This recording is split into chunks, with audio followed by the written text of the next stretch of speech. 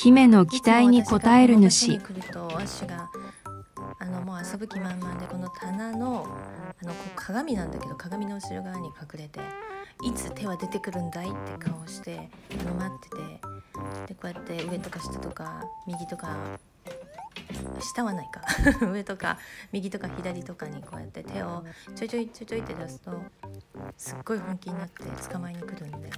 それがもうめちゃくちゃ可愛くてもう本気なのよね彼女もうそこもまたなんかもう笑っちゃって可愛いんだよね。もうたまらなくてもうよく言う猫可愛がりみたいな感じで。だけどね地味に痛いんだよね。あの噛む力はすごい優しいんだけど爪がねあの切ってないから爪がとにかく鋭いの。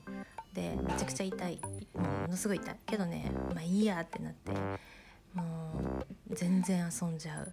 こうやって遊んじゃうんだよね。もう可愛くてこの顔見てこの顔。ねこれでいつも遊んでる。まだ他の遊びもあるけどとにかくここに来ると彼女はここに来て遊んで遊んでがすごいの。こういうところも大好き。みんなはどうやって遊んでますか？アッシュでした。Thank you.